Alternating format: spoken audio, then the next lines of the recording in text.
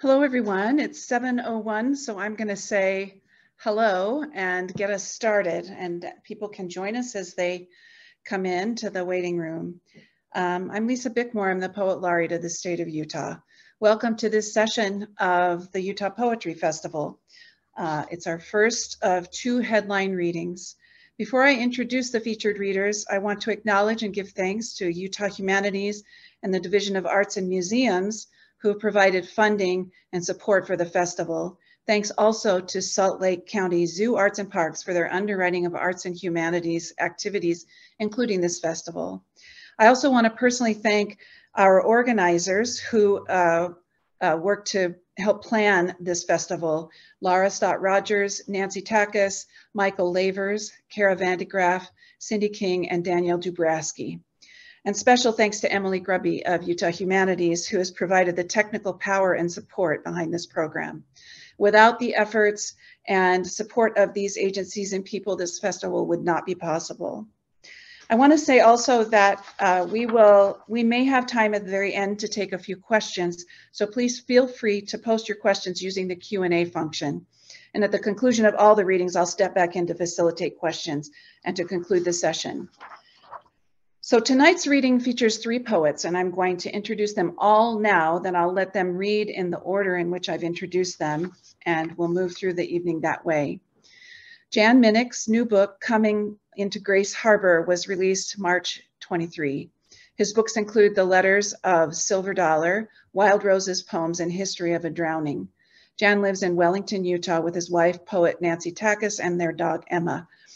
He grew up near fields, ponds, and lakes in Poland, Huron, and Lisbon, Ohio. He received a BA in Literature and Writing from the University of Arizona, an MFA in Poetry from the Iowa Writers Workshop, and a PhD in English from the University of Utah with specialties in American literature and poetry writing.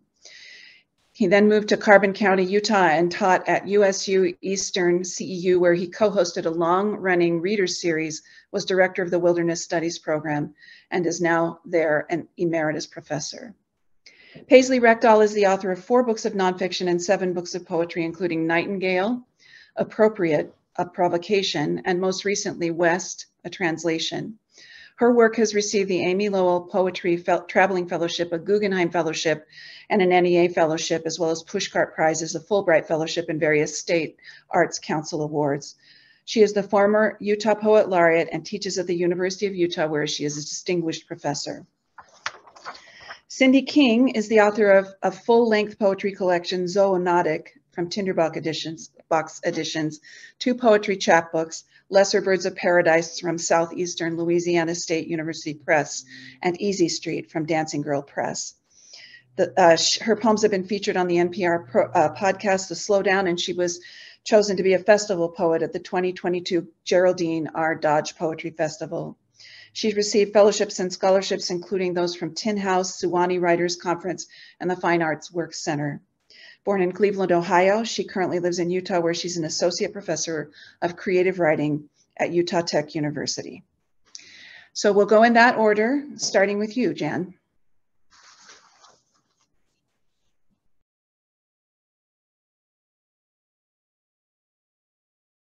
Don't forget to unmute, Jan.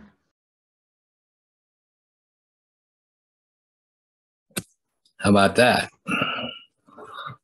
Hello? That's good. You got it. Uh, okay. All right.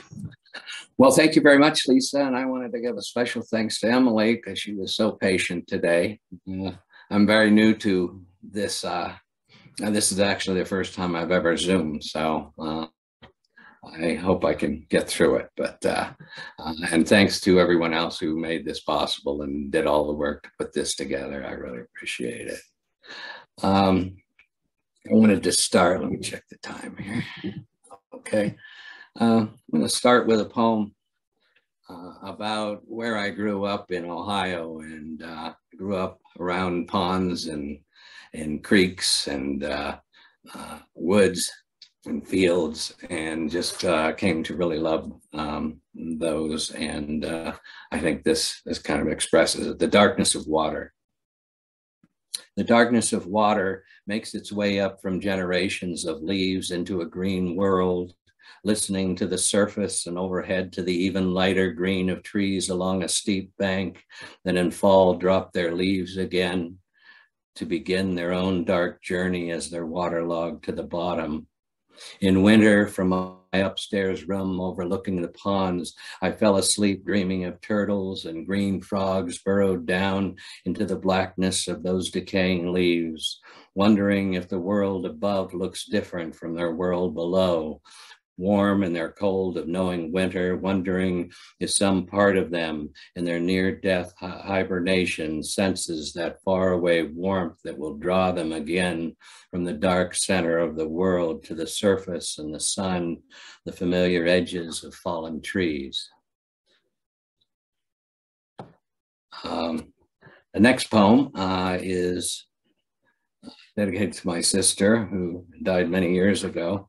Uh, but uh, when I just started college, my father and mother decided that things were getting too crowded around where we lived, and they moved down to uh, the north uh, north part of the Appalachians. And uh, this is starts out in in the first place and ends up on the uh, in the second on the farm. It's called the Island for my sister.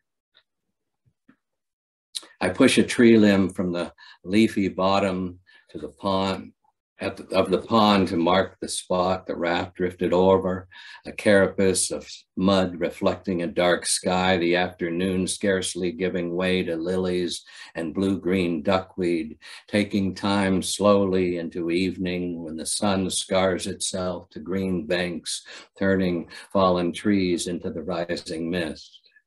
The turtles slip away, their dark heads bubbling the surface, a time flash of unending youth, our father's station wagon drifting in over the blacktop driveway home from the tipple, and you just walking in from the pony barn, looking down to the island, placed that way in a picture, looking down at me as if we could leave everything as it is, walk into the house over the bridge for supper, leave the falling in place, and come back the next evening, then the next until it's time to die. I walk the land alone now, past the dragline graveyard on the hill above the house, catching only a glimpse of the barn through the dying sumacs. We moved away from the war here, from campuses and protests, shattered bodies on wet city streets that washed the blood of a friend doing time in a hospital in Chicago, jumping for his parents, for the girlfriend who wouldn't say goodbye, though not for his sister who cried in my arms sitting on the back porch of their farmhouse. Out here, the land moved quietly under us, and the moon showed us the way home. I've forgotten how still the nights are. The whippoorwills call from an oak across the strip cut where Lizzie, your first jersey, fell from the high wall, her life shortened, you crying, unable to watch as I floated her there until morning when I pulled her out with the tractor and buried her under the sumacs. Our lives were like that then, but now, years after you died, I walk this land alone. Sumacs and locusts given way to older growth, the shale broken down into rich earth, a place I'll go when I'm old enough to fall down and spend the night with those who have died and have not walked home, but are already there and cannot leave. In the morning, I'll get up find my way through the field to the bordering trees and drive away, leaving home again, this farm until next year, through another winter, another year, moving closer even as I move farther away. Uh, I learned very young uh, what can happen when people, when humans in, in, intrude on on those kinds of places, and uh, uh, and I learned very early how cruel uh, humans can be. This poem's called "Looking Through Ice." A doorstop on the bottom of the pond, an iron standing upright, used as an anchor now, taken into a corridor of shale. The tracks are elk and moose, so I place them low like the clouds that come down over the water. I remember one evening walking Yellow Creek with my father because I heard a baby's cry. He told me it was probably an animal half drowned in a leg hold. When he re, when he re, I'm sorry, when he released the trap, the young muskrat grew quiet, staring up at him, and died in his arms.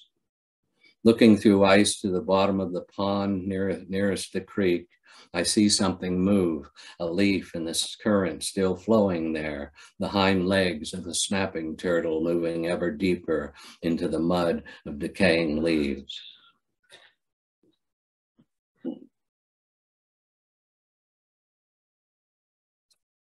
Winter solstice. It isn't hard to feel the drought that's coming to this high desert. Too many berries on the junipers, and though the sage with so little rain still looks healthy, its tint of blue has darkened.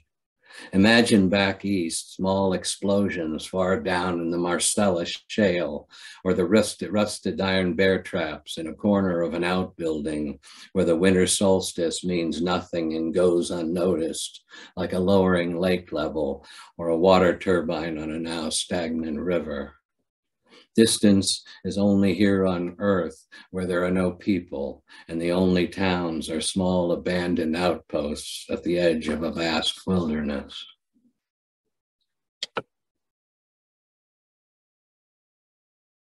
Um, next poem I'll read is about uh, uh, an old man I, I knew, a recluse who lived in a ghost town in south southeastern Arizona and I used to visit him quite often when I was going to high school there and then and going to college. And uh, uh, he he was in his middle 90s, uh, and I, I started uh, seeing and visiting him when I was eight years old with my father and brother. Uh, but uh, it just always seemed like he was just always happy. Uh, and he lived alone. He he had someone bring him groceries every couple of weeks, uh, a niece from 30, 40 miles away. And uh, anyway, this is called Return to Courtland. I, I keep coming back to him. I, I really admire uh, recluses, I guess. Uh, Return to Courtland for Eugene Yoakum. The turns of the canyon come slower, the color of the evening marks an end to the distant light that made it by one rock peak only to become stranded on another.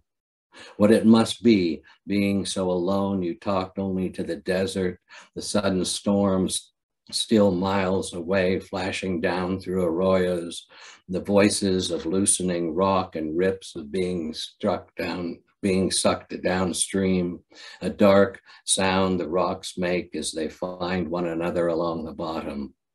I follow seasons with wasps now, and slow when they slow. In midwinter, it's warm enough to walk into town, these few remnants you lived your life out in, the weathered boards that held the wind at bay in a dying desert.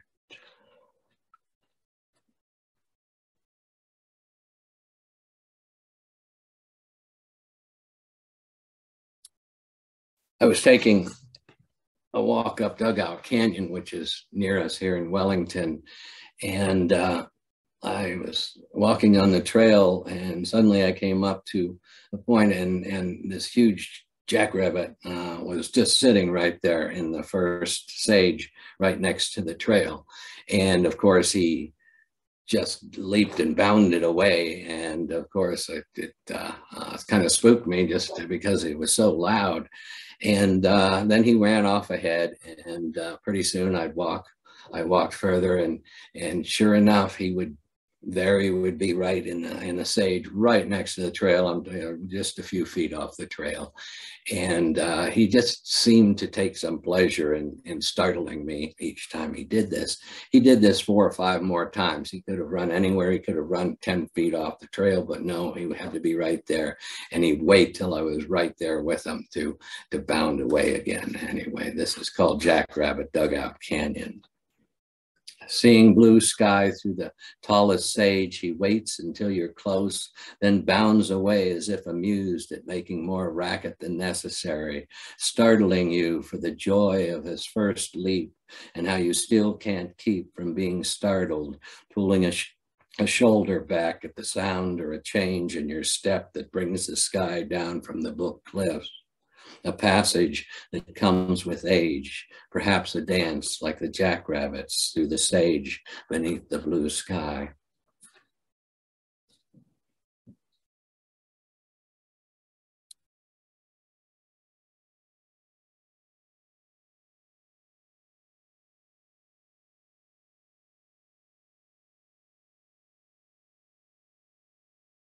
Sometimes I think it would just be nice to to disappear into a storm. Among junipers, watching lightning strikes in the junipers coming in dark and low, an aura of rain and distant cliffs. For a moment out of focus. We start back for camp, low junipers leading the way farther west, a balance in the arms crossing an arroyo now, or Yellow Creek over a fallen oak, watching snags and eddies and shallows of sand, or staying low among these junipers, moving down from the book cliffs, we disappear into the storm.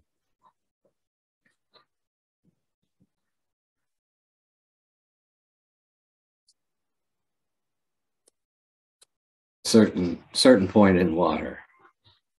You set the points in water you mean to get back to a general vicinity of creeks and ponds where only the shadows float, though soon they settle too to the bottom of mud and sand with the frogs and turtles and the leaves they're so much a part of in the almost undetectable current, their edges fluttering one way then another as they settle deeper. There's no certain point in water between seasons in the high desert when the last south wind of autumn stops suddenly as the first winter storm moves down out over the mountains. A time when the water is so clear you feel the pool of sky and the wind at your back, islands growing wild again and moving forward, moving backward to a point in time when the world demanded green.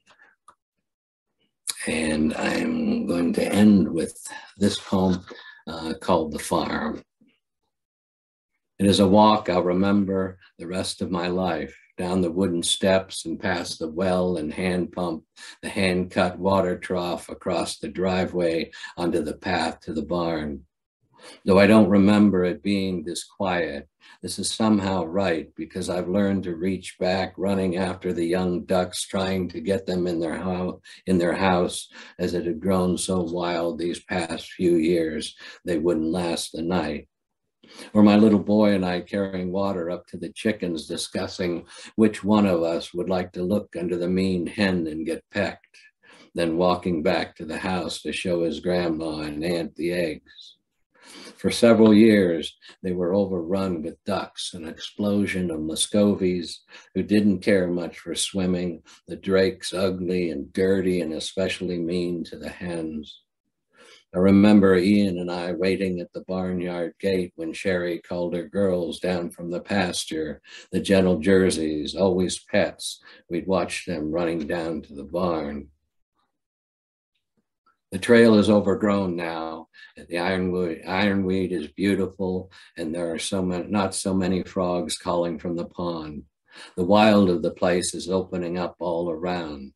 The summer after our mother died, I wonder if Sherry found this loneliness so beautiful here at last at least sometimes comforting, a sadness she could always feel good about, like hearing a friend's bluegrass band she wrote me just before she died, how she cried she missed her mother so much, but felt her there sharing the music and was comforted and though alone.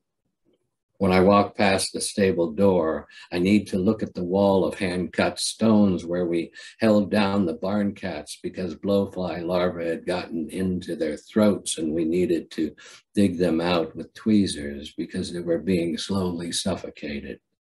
How relieved we all were when the ugly things were finally out and we'd put salve on the wounds and watch as the cats went off, no longer wheezing from their parasites. Thank you very much.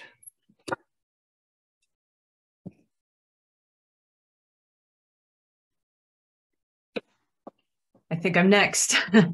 um, that was really beautiful, Jen. I love the poem for your sister. So I'm going to share my screen very quickly. Um, and I'm going to be doing that thing which may drive everyone a little crazy, which is um, play some videos. so I am going to present uh, a project that I've been working on and is actually finished. And it's part of this book, West, a translation. Uh, when I was poet laureate, I was asked to write a poem about the Transcontinental Railroad, which was completed over 150 years ago here in Utah. And so what I did was I took a poem that was carved into the walls of the Angel Island Immigration Station. It's a Chinese poem, and it was carved there during the Chinese Exclusion Act by an anonymous um, detainee. And the Chinese Exclusion Act was something I was thinking very much about uh, while researching the transcontinental, because while the transcontinental was being uh, built, of course, Chinese laborers uh, were eagerly recruited from uh, the Central Pacific Railroad. But once the Transcontinental Railroad was completed, the Chinese Exclusion Act passed 13 years later. And so a lot of anti Chinese sentiment, which had been going on through much of the 19th century, uh, reached ahead. And the Chinese Exclusion Act lasted from 1883 to 1943. And it affected many West Coast Chinese American families like my own. So I'm half Chinese.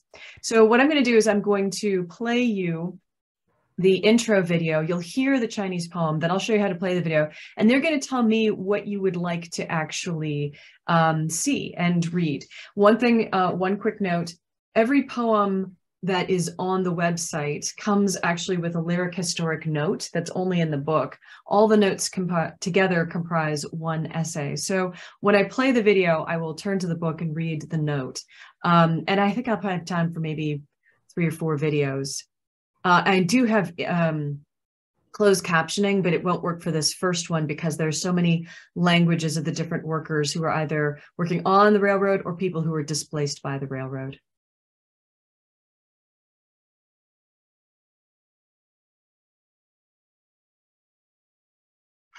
We ate at 听到火车嘅声音。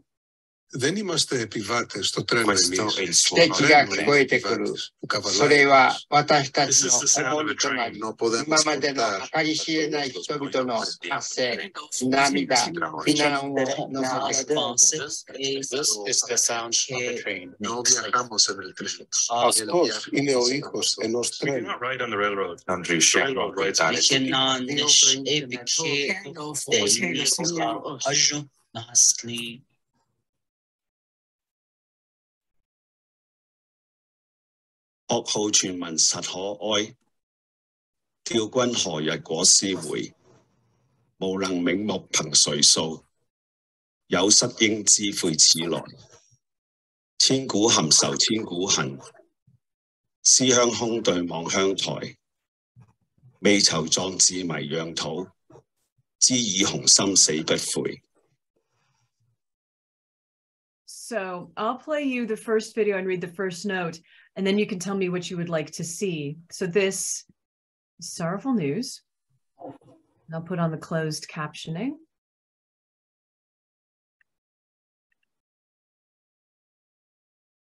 Sorrowful news.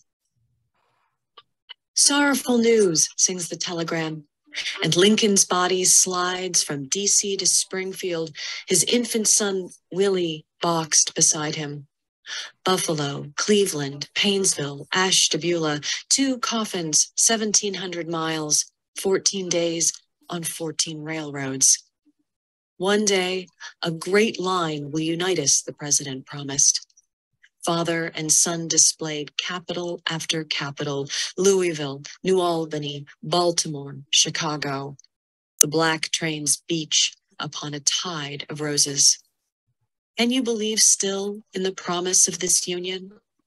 I saw, General Dodge wrote, a little Negro drop on his knees and offer prayers, while above, the dark news thrums on wires, gone, gone, gone, gone, across poles tall as the ones from which the president ordered 38 Sioux to be hung. Oops. Let me see know why that's not working. Sorrowful news. Between April 20th, 20th and May 3rd, 1865, the train carrying Lincoln's coffin traveled through 180 cities in seven states.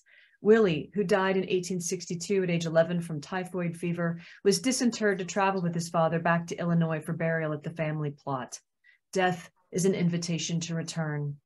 When I was commissioned to write this poem about the Transcontinental by Utah's Spike 150 Committee, my first impulse was elegy. My Gungung and Popo, my maternal grandparents, could trace their lineage to Guangzhou, where the Chinese transcontinental workers immigrated from, though my own family has no relationship to the train. Popo was born in Ellensburg, Washington in 1910, emigrating to Hong Kong where my great grandfather either fell ill or fled from being murdered by a rival Tong before rival Tong leader. She returned to America at age 18, where she met my Gungung at an Alaskan cannery. Popo was American, Gungung Chinese. Born in Nambin province, Gungung immigrated as a paper son to Chicago at age 15. A handsome man and womanizer, he married my homely Popo because of her English. When he died in 18, 1985 from pancreatic cancer, Popo held an open casket funeral, though my mother refused to let me see the body. What do we seek from death's display? The day Lincoln's funeral train left on its tour, more than 10,000 people came to watch. The bodies of the Dakota Sioux that Lincoln ordered to be tried and convicted for crimes they likely did not personally commit hung for less than an hour before being dumped in a mass grave. Before morning, their corpses had been excavated by physicians for medical cadavers.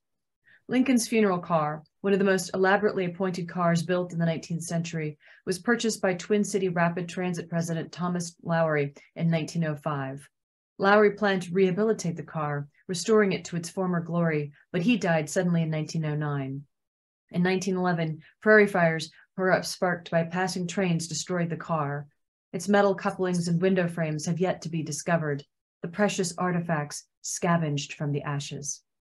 Okay, so you can learn about anything from adoption, African American workers, archaeological artifacts, biracial 19th century journalists, the Civil War, Chinese death rituals, uh, descendants of the railroad workers, Chinese exclusion, phrase books from the 19th century, cholera, environmental change, gender roles on trains, hobos, Hollywood, immigration questionnaires, Irish American workers, labor unions, land art, Robert Smithson, manifest destiny, mass murder, Mormons, Native Americans, the Plains Indian War, photography, polygamy, prostitution, presidential impeachment, race relations on the train, the telegraph, and LGBTQ lives.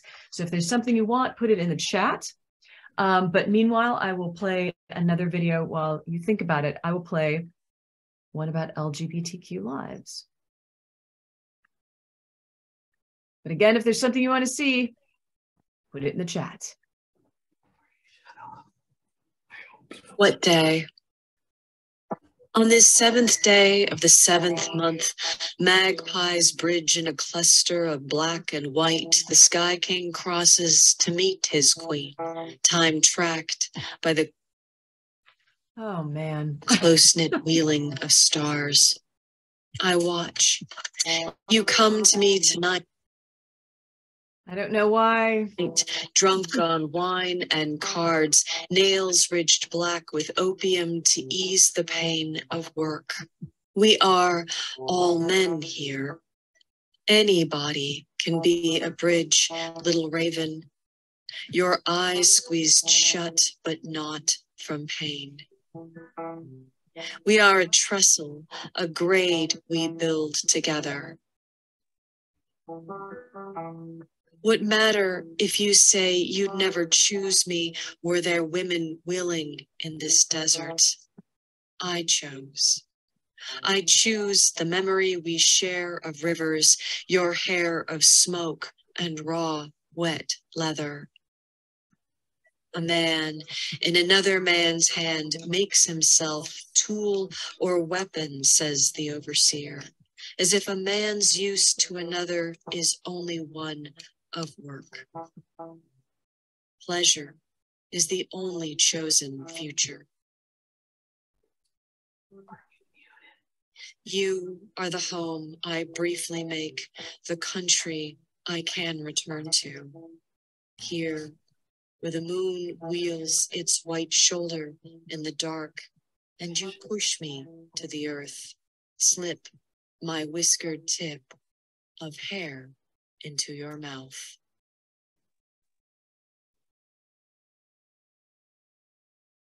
What day?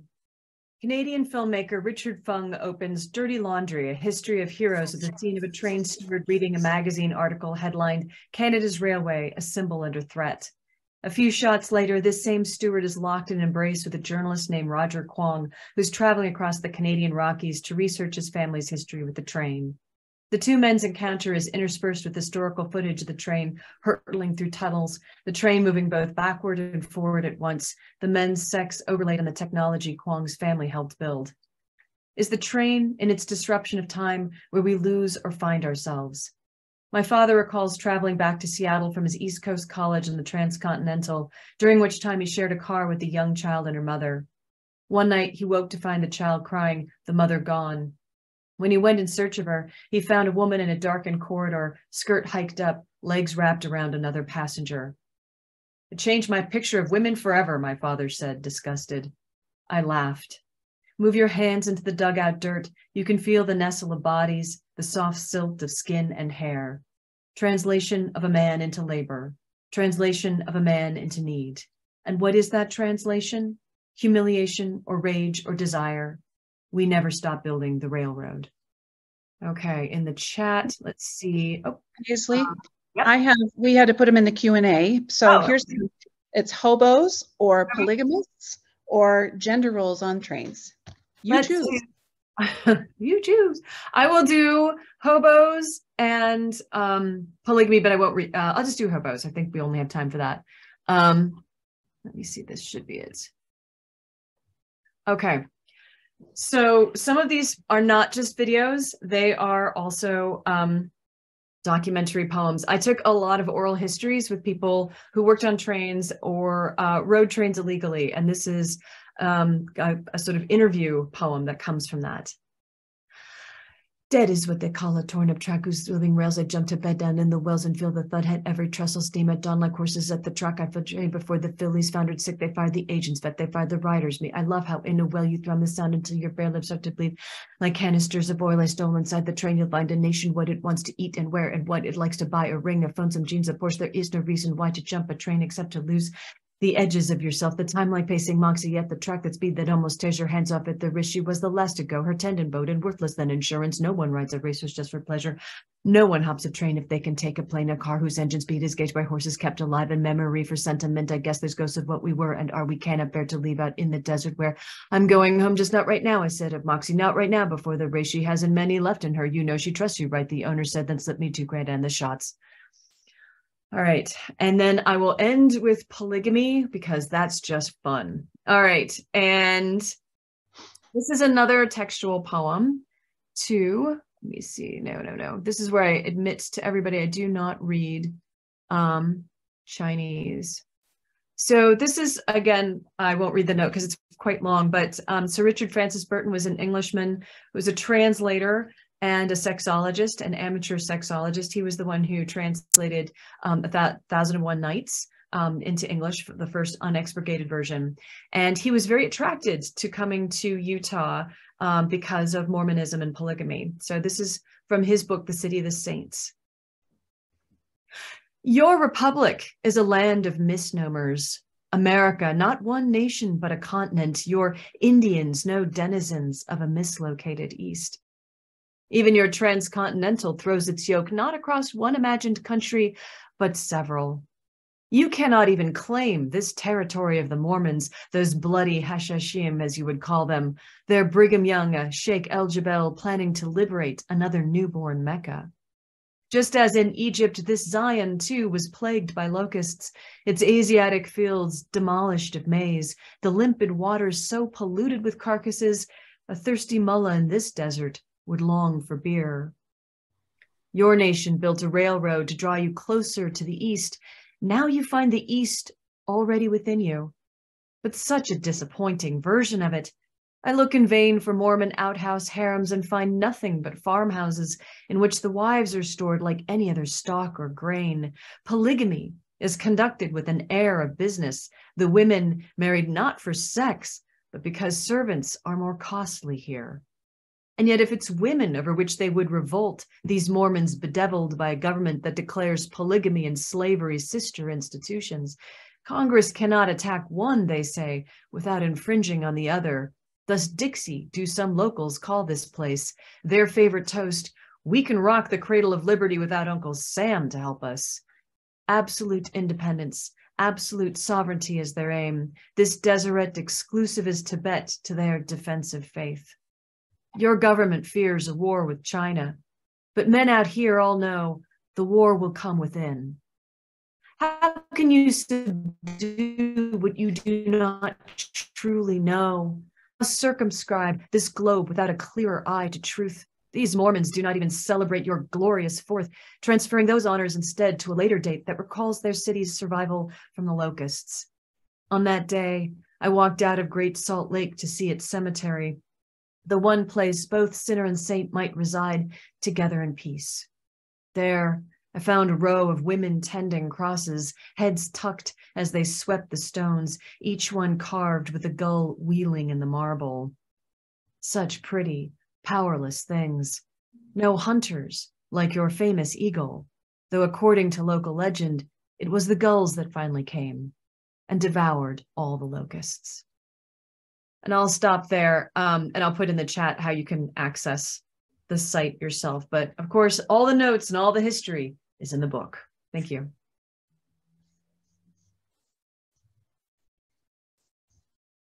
Wow, Paisley, that was totally incredible. Um, thank you so much for preserving and revealing the history of um, Utah. And um, I want to thank everyone for bringing us together, um, especially Lisa Bickmore, our new poet laureate. So much hard work that you put into putting this festival together. And thanks to everyone on the committee. Um, and definitely thanks to Utah Humanities and the Utah Division of Arts and Museums. Your generous support has been helpful to me personally, as well as I'm sure many other great artists and writers in the state. So thank you. And everyone, thank you so much for being here um, and for including us down here in Southern Utah and St. George. Um, just thank you so much. Um, so I'm going to go ahead and um, start reading from Lesser Birds of Paradise, my chapbook. Um, and the first poem I'm going to read is called Night Shift. And I'm not sure if any of you are latchkey kids, like if your parents sent you to school with the chain around your neck with the key on it and you'd let yourself in to the house because um, they weren't home and were working. Um, you know, they called that parenting in the 70s. They might call it child abuse now. I don't know. Um, but I think essentially spending a lot of time alone um, as a kid um, has made many, um, many poets, including me. So this poem, I think, is a good one to start us off. Night shift. I start listening to houseplants, learn their dead languages. A fly lands in my soup, and I eat around it until the bowl is empty. Everyone loses something eventually.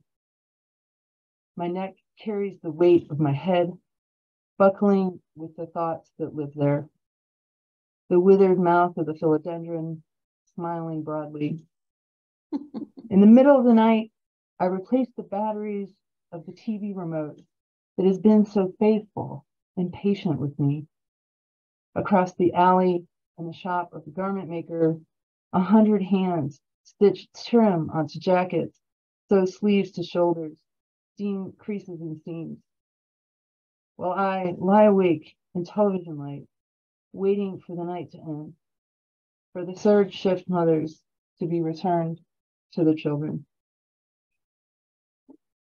Um, the next poem from Zoonotic um, I haven't read this poem in a, a, while. I kind of forgot about it. And then uh, a friend of mine posted it on uh, social media. Um, and I was like, well, I think I'm going to read Study in White. Um, I'm not sure if any of you know um, the poet David Hernandez, one of uh, the poet I really love to read. And um, he writes a lot of these um, study in red, study in black. And of course, I wanted to write my own study in a color poem. And so I wrote um, Study in White, and this is kind of my what I call poem noir. So Study in white. The sheriff grinds a breath mint between his molars, his limestone thoughts deep as a flooded quarry, clouded as its water after hard rain. He passes a hand across his chin, stubble, more salt and pepper now, powdered with dust, slide car, expressive his exhaust. Donuts, sugar at stash a half moon of ice wanes and a styrofoam cup of bourbon. An officer inspects her French manicure, then stretches to its limits a latex glove. Pages of a notebook flutter in a failed attempt to fly from her pen. Socks lose their grip on the pale fact of shins. Boot prints brim with ruin at the quarry's milky shoreline. Hands of a watch meet at noon. A face goes blank. Another loses its color. As a dark figure floats to the water's surface, becomes tangible, the sun's mouth open the moment it bites through the overcast. And then we're going to go back to Lesser Birds of Paradise. This poem is called Miss, and it's MIS. It's um, the prefix miss, as in misfire, um, mishap, um, and miscarry. Miss. It's impossible to feed you when it can't find your mouth, an inconvenience when you pass through walls or levitate. How to coax a whale on the beach back into the water, how to rescue jellyfish without becoming one. Forget what you learned in school about silence and standing still, about how a cricket is just a cockroach that sings. When you discover, discover the true source of your power, you might be underwhelmed. At the sight of bronze shoes, why weep? The grief and loss meetups were never canceled due to lack of victims. When you can't leave the house, call Alexa, a woman with a machine inside, or a machine with a woman inside. I can't remember which. She'll never say it takes one to know one. So I guess that means we're still human. If you ask, she'll tell you that recovery is a kind of motherhood, where you are your own infant, your birth, a mere deliverance.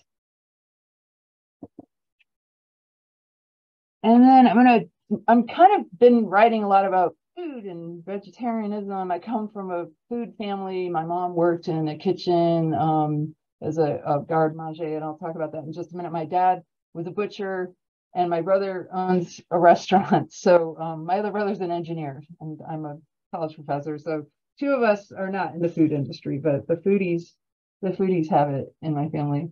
Um, so this poem, it's called um, "The Butcher Coat." His white coat is polyblend peaked. Is summit stiff? Is snowstorm? Is ice expanding asphalt in the pothole of memory? Is still thawing? Is blizzard brocade? Is crocheted? Is crystal counted cross stitch, needling the night sky? Is kiss goodbye in a bedroom bunker? Is powder? Is flake? Is good night in a paper plate kitchen? Is the crunch brunch lunching a styrofoam? Is steel-toed punch through crusts of snow? Is boot salt grade like Ash Wednesday come early? Is glacier? Is Great Lake? Is window open to flurry? Is slipper? Is snowshoe? Is sled? Is iceberg bearing me on its back, hard packed and squalling on the waves? Is me shrinking in his coat in a whiteout? Is only the lighthouse that sees my collision? Is me in a white coat on the water? Is father? Is floodlight? Is break wall, break wall breached by waves?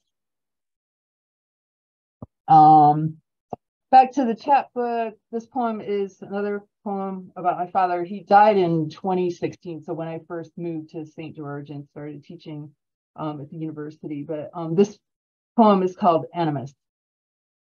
Lots of uh, mixed up uh, mythology about what happens in the afterlife here. Animus. When I imagine my dad in the afterlife, I think of him haggling with the ferryman, refusing the ride across the river and choosing instead to swim. At the gates of heaven, he won't give his name, demands to speak with God himself, as if God were the general manager, senior supervisor of the universe. On the muddy banks of the river of forgetfulness, he chugs the murky water. I wonder if here and hereafter he still remembers me. I'm not sure what the animals think when they see him in a stiff white coat, wandering the fields of Elysium. Do they sniff the air and trot away coolly, or do they come to lick his palm? A long look, I should think, could call beasts back into the wild, drive out any trace of domestication. What words would they have for the man who butchered them, who sacrificed, filled our family's plates? Rosy ham, leg of lamb bouquet. What lessons might I learn in magnanimity and forgiveness? And then, as I mentioned, my mom worked in um, a kitchen in a hotel and probably peeled a million um, shrimp for their endless shrimp cocktail buffet. Um, so let me just find out.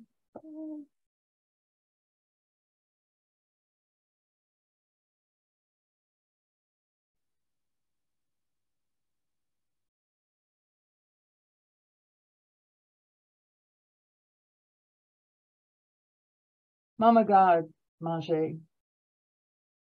Was it for the manager as much as it was for me? For my father, for our acre of mud, for the withered rows of cornstalk blanching in the rain, for the platters and the oyster knives, for the threat of their blades, for the poaching, the pickling, for the brine, for her knuckles split and the blood rising from the sting, from her neck, bowed as if worshiping the work of the hands. The back bent, the shoulders, her body curved, committed to murderous disassembly. Her feet raw and the boots failings. Was it for the third shift sunlight, beautiful if it weren't so ugly? For eyes and entrails, soft shells, scales, for the pe- pink peach sangria and the drain? Or was it for the stoop and the styrofoam cooler hosting its own frozen season, or the breath she held, the smoke expelled in delinquent streams, thick, forgetful, distracted by wind, vanishing before it knew where it was going. And then I'm going to move into some new poems. So um, I'm excited this poem's going to be coming out in Denver Quarterly.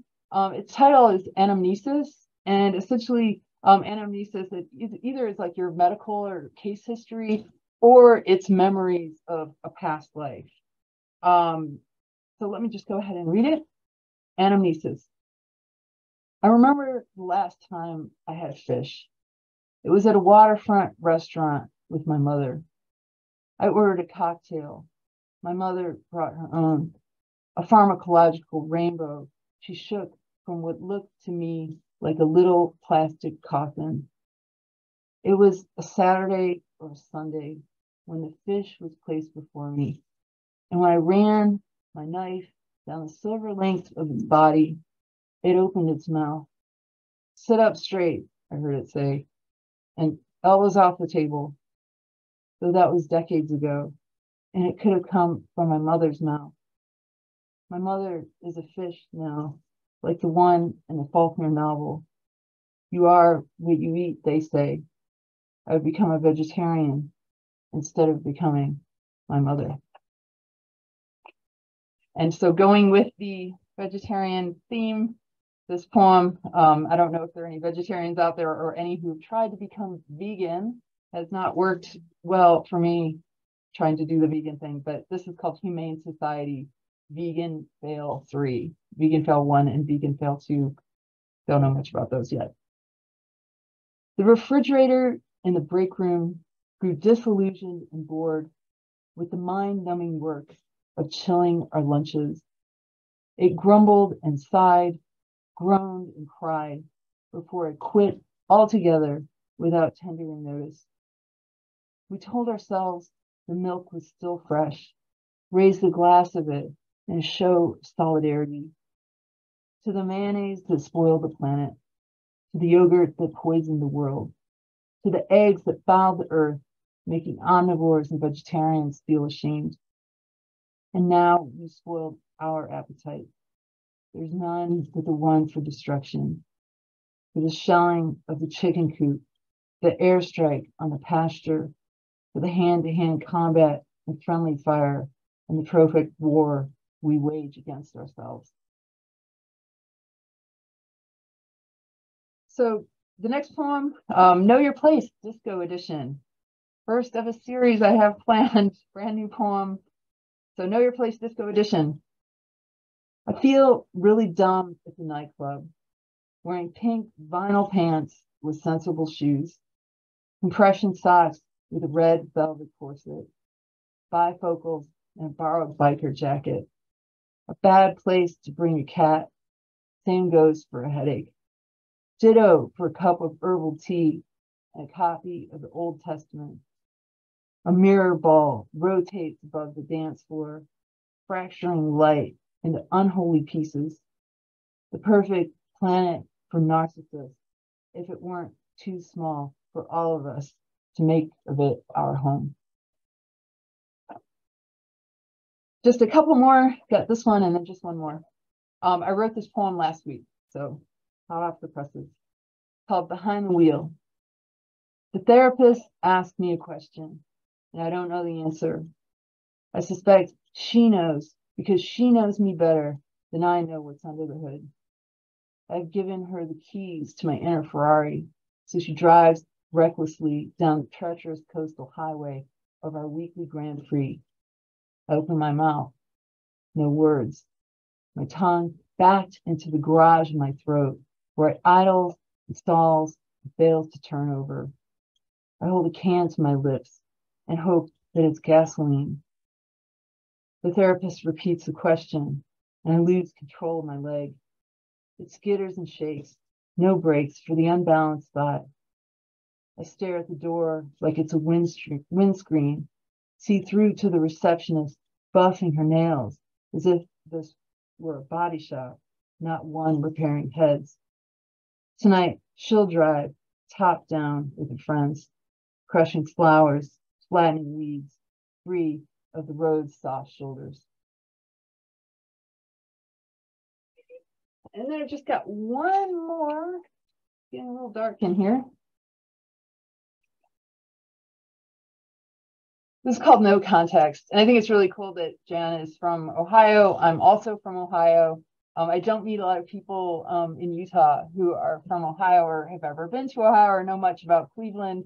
Um, getting maybe a little different picture of Ohio um, with this poem about the city. Um, I fly a red eye when I fly home from Las Vegas to Cleveland, and then I take the train really early in the morning um, to my brother's place in Cleveland Heights. So this poem is called No Context. At 5 a.m., under the red line platform in Ambler Heights, you can't see the river.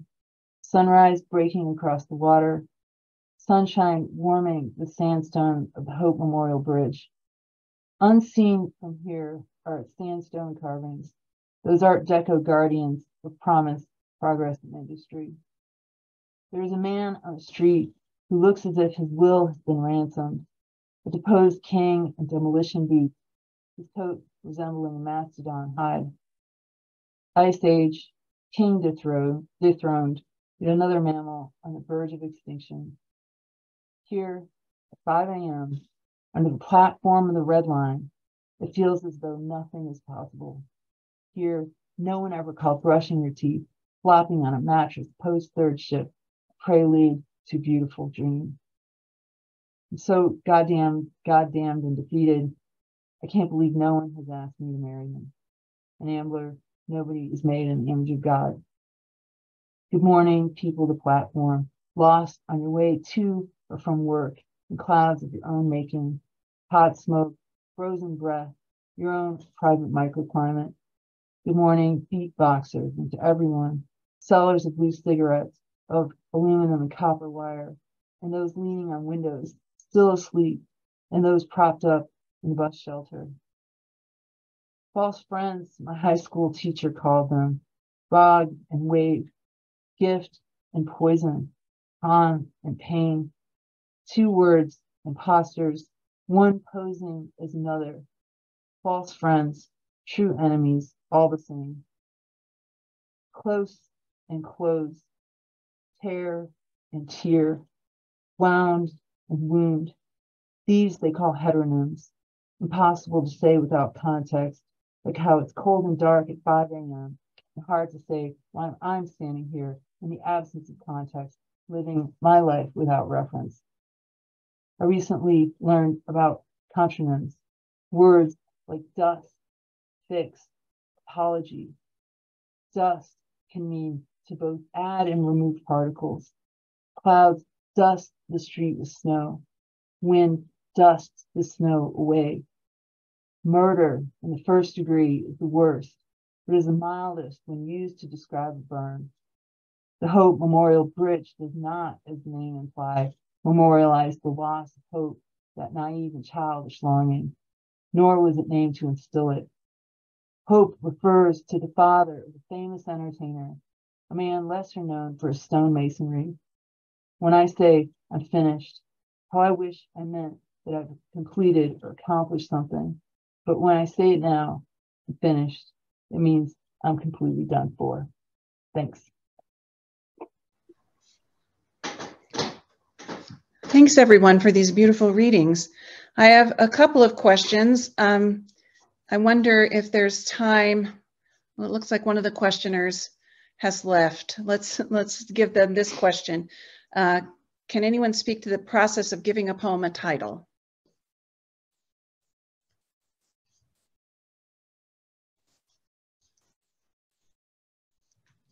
no one's taking this. I just feel bad. Um, in my case, it was quite simple because I was working with Chinese characters that had specific translations. And so for me, it was about, um, to a certain extent, um, feeling a kind of creative spark via research. So, but other people should answer that question.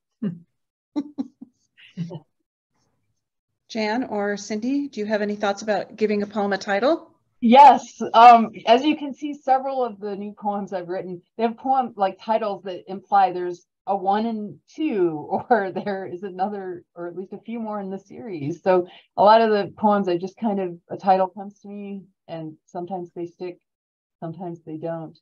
But I think titles are among some of the hardest things to to write. I had a workshop with um, Erika Meitner at one time, and she gave me a really great handout with different types of titles, titles that can supply context for your poem right away if you want a time and a place, you know, Cleveland, Ohio, 1975 in May, or they can be ridiculously long. They can set the tone or contradict the content of the poem. Um, but yeah, titles I think can be can be tough. But if Jan, you want to chime in. Well, I sometimes title, usually title according to place. Uh, and other times I title by something I've taken out of the poem that I really liked that didn't belong in the poem. So I say, well, I'll just title the poem that and hope that it has something to do with, with the rest of the poem. Thanks all of you. And thank everyone for coming tonight. Uh, uh, the, the next event in this um, festival is a panel tomorrow starting at 10 a.m. Genre as boundary, limit, and blur. And I hope you'll be here and for the events tomorrow and for the reading tomorrow night. Thank you, Cindy, Paisley, and Jan. And thanks everyone. Have a good rest of your evening. Thank you for inviting yeah. us. Yeah, thank yes, you. Thanks.